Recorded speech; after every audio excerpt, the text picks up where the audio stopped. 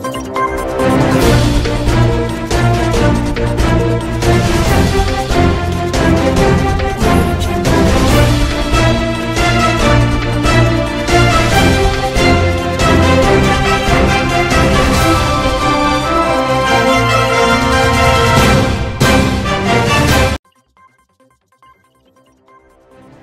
À moins de 72 heures de la fête de Tabaski, la vedette du jour, qui est le mouton, se vend au parc à bétail de Faladjer de 65 000 à 250 000 francs CFA. Un de nos reporters y a fait un tour. Levé des sanctions de la CDAO, nous en parlons toujours. Le président de la Chambre de commerce et d'industrie du Mali donne des explications sur les mesures prises pour faire face aux sanctions. Au Burkina Faso, l'ex-président Blaise Compaoré est attendu à Ouagadougou en fin de semaine.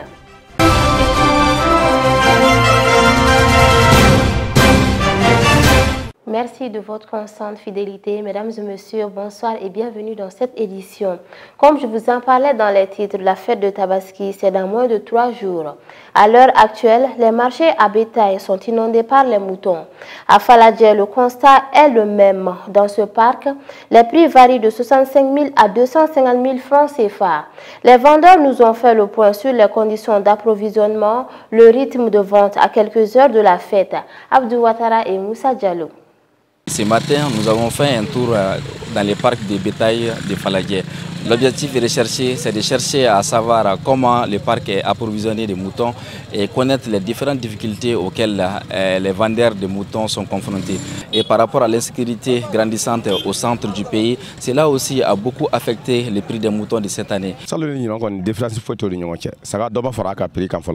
L'état d'approvisionnement du parc à bétail l'année passée et cette année il n'y a pas eu un grand changement. Les prix sont presque les mêmes. Les aliments bétail sont en manque et très chers. C'est l'aliment bétail qui favorise l'augmentation du prix des animaux. Le sac de tourteau était à 10 000 francs CFA. Cette année, c'est vendu à 18 000, souvent à 20 000 francs CFA.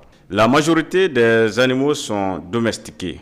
À cause des difficultés de la situation du pays, les éleveurs ont peur de domestiquer les animaux. La majorité des animaux viennent de Koro, Bankas, Douanzan et la plupart aussi viennent du côté de Nara. La route est en insécurité qui complique les moyens de transport. Souvent, les animaux sont retirés aux propriétaires par les terroristes. Actuellement, le marché est au ralenti. Beaucoup de clients n'ont pas un endroit pour garder les animaux de la fête, raison pour laquelle certains laissent 24 heures de la fête pour venir acheter. Je demande au gouvernement de serrer la ceinture et maintenir la sécurité dans le pays. Les témoignages que vous venez de suivre montrent l'activité de la fête de Tabaski par rapport aux moutons. Nous avons su que le pays est confronté à d'énormes difficultés, raison pour laquelle la majorité des vendeurs ont lancé des messages à l'endroit des autorités de faire tout leur possible pour pouvoir maintenir la paix et la stabilité dans notre pays. Nous souhaitons bonne fête de Tabaski à tous les musulmans du monde entier. Comme également annoncé dans les titres, le président de la Chambre de commerce et d'industrie du Mali, à la levée de l'embargo de la CDAO, nous explique les mesures adoptées par la Chambre pour amoindrir les effets des sanctions. Il nous évoque également les futures actions que la CECIM va entamer pour faciliter l'arrivée des marchandises au Mali. Suivons le reportage.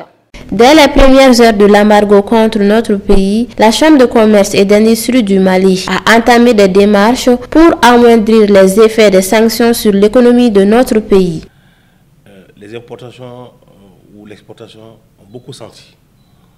C'est vrai qu'il y a certains produits qui ne font pas partie de mesures euh, prises par la CDAO, qui sont les dernières premières nécessités. Mais comme vous le savez, beaucoup des unités industrielles qui sont au Mali ici ont vu leurs matières premières bloquées au niveau de ces différents corridors à cause de cet embargo. Les gens se sont quand même euh, courus de gauche à droite. La Chambre de commerce, au tout première ère euh, de cette mesure, a réuni l'ensemble des de, chambres consulaires. On a réfléchi, on a dit qu'est-ce qu'on fait? Euh, on a approché, l'État pour leur demander qu'on fasse une mission à, l'extérieur, à Conakry et à Mauritanie. C'est vrai que ces deux pays ne font pas partie. CDAO Mauritanie ne fait pas partie, la Guinée fait partie, mais la Guinée, dès la déclaration, avait aussi déclaré comme quoi ils ouvrent leurs frontières, ils ouvrent leurs ports à notre pays. C'est pourquoi vous avez vu une mission initiée par, euh, pas, les chambres consulaires, hein, mais conduite par les ministres des Affaires étrangères, euh, une forte délégation de, ministres, y compris aussi les, les, présidents des chambres consulaires. On allé à Conakry, ensuite on allé à Mauritanie. Nous passons là-bas auparavant, hein, mais c'est pour aller demander davantage de nous accorder des de, de, de, prioriser l'importation des, produits maliens qui passent par leur corridor. Et c'est ce qui a été accepté aussi. Pour le président de la Chambre de commerce et d'industrie du Mali, la flambée de certains produits dans notre pays n'est pas liée à l'embargo. Quant à la hausse du prix du ciment, c'était parfaitement lié aux sanctions de la CDAO. Les produits qui sont chers ici au Mali, ce n'est pas lié à l'embargo ni la guerre Ukraine-Russie. C'est un produit ici, là, c'est des produits de saison.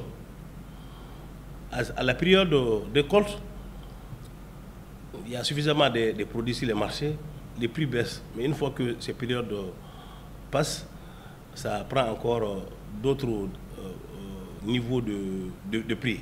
Ce n'est pas lié à l'embargo ni la crise Ukraine-Russie. Le ciment, naturellement, elle va baisser hein, parce qu'on est déjà à l'hivernage, la construction s'alentit, donc il y aura fortement tout de suite si le marché des ciments suffisamment. Parce qu'il y a des périodes de consommation du ciment aussi. Hein. mois de juillet, août, septembre, octobre, c'est peu de consommation parce que c'est l'hivernage. La construction ou les infrastructures, les plupart sont en arrêt. Donc, forcément, le ciment va baisser. Comme vous l'avez constaté depuis des semaines, de 140 000, le ciment est à 120 000 aujourd'hui. Je suis certain que d'ici fin juillet, début août, ça va revenir à son prix normal. C'était lié en réalité à l'embargo. Mais le bleu, les, engrais, les produits pétroliers, ce n'est pas lié à l'embargo. C'est lié à une autre crise mondiale qu'on appelle la guerre russe-ukraine qui a beaucoup perturbé l'approvisionnement de ces produits vers l'Afrique de l'Ouest. Comme vous le savez bien avant aujourd'hui, une grande partie de nos engrais, nos bleus, les produits pétroliers était fourni par euh, l'Ukraine et la Russie. Vu qu'il y a vraiment cette guerre aujourd'hui, voilà ce qui a perturbé même l'ordre mondial par rapport à ces trois produits. Ce n'est pas seulement nous, les Maliens, c'est vrai qu'aujourd'hui, on les sent ici, mais c'est l'ensemble du pays du monde qui les sent. Négocier les tarifs porteurs pour alléger les taxes à payer, tel est l'appel lancé par le président de la CECIM. Je vais très rapidement demander aux autres collègues euh, présidents, chambre consulaire, et les ministres en charge de l'industrie de commerce, les ministres des Transports, si cela est possible, hein, d'élever une mission très rapidement à Dakar et à Abidjan avant la fête pour échanger avec euh, les ports et ses partenaires, pour négocier les, les tarifs euh, appliqués, par exemple les magasinages et les sidécharies. Comme vous le savez, les ports là, ils ont des conditions, quand vous amenez vos marchandises souvent, il y a des ports qui accordent trois semaines avant que vous vous, vous, élevez, pour vous, pour vous permettre d'élever. Il y en a qui sont à 15 jours, mais au-delà de ça, il y a des pénalités chaque jour. Imaginez-vous, du 9 janvier au, 4 euh, juin, c'est presque 6 mois. Euh, si on veut appliquer aujourd'hui ces, magasinages ou le CDSARI, souvent tu trouveras que ces, taxes dépasseront forcément même la valeur de marchandises qui se trouve là-bas. Mais les autorités et nous pouvons vraiment se déplacer pour aller échanger, demander au port et ses partenaires de renoncer carrément cette charge, parce que ce n'est pas, euh, comme je disais, c'est pas, pas notre volonté, ce n'est pas nous qui avons fait ça. Hein, s'il y a eu des mesures prises entre la CDAO, les autorités maliennes, les secteurs privés, c'est vrai que nous sommes maliens, on souffre de cette situation, et qu'ils comprennent, c'est indépendant de notre volonté. C'est le cas de force majeure.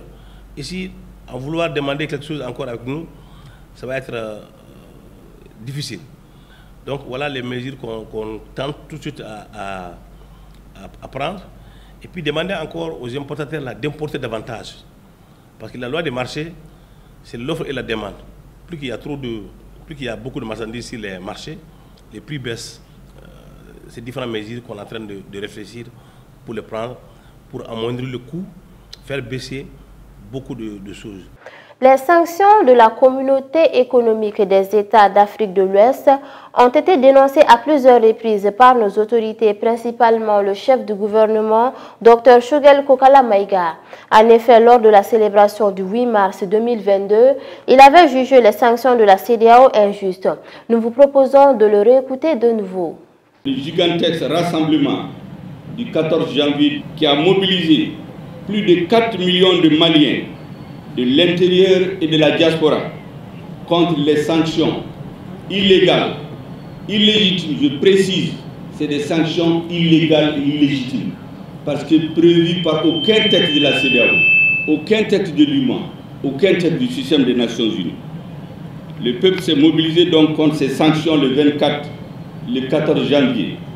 Il a choisi d'avoir comme préoccupation majeure non l'enfermement dans un corset de date mais des actions futures sur des bases inébranlables. Ensuite, mesdames et messieurs, notre transition a suivi, a choisi de ne pas être un pilotage à vue au gré des dictats imposés de l'extérieur, de l'étranger, des calculs qui n'ont rien à voir avec les intérêts supérieurs de notre peuple. Nous avons l'habitude de dire, et nous avec le président, que nous souhaitons que cette transition signe la fin des cycles d'intervention de l'armée dans la vie politique. Mesdames et messieurs, enfin, la transition neuf mois après, après l'enclenchement de la rectification intervenue le 24, mars 2000, le 24 mai 2021 peut se prévaloir des résultats indéniables. Le Mali a signifié à ceux qui n'ont rien compris à la marche de l'histoire que notre indépendance, notre souveraineté, notre dignité ne sont pas négociables. Grâce aux actions intrépides de nos forces armées de sécurité, mesdames et messieurs, grâce à la mobilisation, à l'accompagnement et aux bénédictions de notre peuple, nous avons inversé la courbe, ne comptant que sur nous-mêmes le président de l'Union pour la sauvegarde de la République du Mali, Nouhoum Togo, a exprimé sa satisfaction face à la levée des sanctions et remercié et encouragé les autorités de la transition pour leurs efforts de libération de notre pays. Je vous propose de suivre son intervention. Pour euh, la levée euh, des sanctions sur euh, le Mali, nous avons reçu avec beaucoup de soulagement. Comme vous le savez, la souffrance au niveau surtout du Malien lambda. Comme vous le savez, la CEDAO, la mission, c'est la circulation des personnes et de leurs biens pour le développement euh, de, nos, euh, de, nos, de nos contrées. Mais aujourd'hui, nous avons remarqué qu'avec l'embargo, l'ensemble des secteurs et l'ensemble des pays qui composent la CEDAO ont eu la souffrance, la même souffrance que le Mali. Lever la sanction, c'est aujourd'hui donner l'opportunité à nos populations euh, de encore travailler pour que des va-et-vient puissent s'opérer dans euh, tous les pays qui composent euh, la CDAO. Soulagement au niveau de nos autorités, soulagement au niveau de la population. Aujourd'hui, c'est l'occasion pour moi de remercier cette brave population qui a tenu tenu parce que l'objectif était de faire en sorte que la population puisse se révolter contre les institutions de la République. Mais les Maliens, dans ces difficultés, ensemble, ont main dans la main, ont relevé le défi de l'engagement et du patriotisme. Il faut les en remercier ici, c'est l'occasion. Remercier nos autorités, remercier aussi les commerçants qui n'ont ménagé aucun effort pour la réussite donc, des activités menées. Et remercier aussi euh, spécialement le Premier ministre euh, de, son, euh, de son courage et de son engagement. Et remercier Assimi en tant que président qui a donné les directives. Pour moi, ça vient de, il faut remercier aussi les enseignants qui qui ont accepté de mettre leurs égaux à côté, travailler pour relever ce défi-là. Donc pour moi, aujourd'hui, euh, c'est un ouf de soulagement qui va permettre le Mali euh, de regarder en face l'avenir. Et aussi, euh, l'embargo a permis que le Mali soit respecté sur le plan international. Je vous prends un exemple tout récemment avec l'Espagne. Le communiqué maladroit envoyé par le ministre des Affaires étrangères pour dire qu'ils vont intervenir au Mali. L'ambassadeur a été convoqué à la minute par le ministre des Affaires étrangères. L'Espagne a réagi pour dire qu'ils se sont trompés. Donc c'est ce qui montre une fois de plus la force du Mali pour dire non sur l'international. Vous avez remarqué aussi qu'avec l'embargo, nous avons su faire en sorte que, que ce soit en France, que ce soit au niveau euh, des Nations Unies, que désormais nos voix soient comptées pour des prises de décision. Pour nous, c'est important. Tout ça, ça dénote encore l'engagement et de façon constante le gouvernement pour le travail qu'ils ont euh, fait au nom du Mali, au nom de notre dignité, au nom de notre honneur. Pour moi, c'est à remercier. C'est un ouf de soulagement en un mot.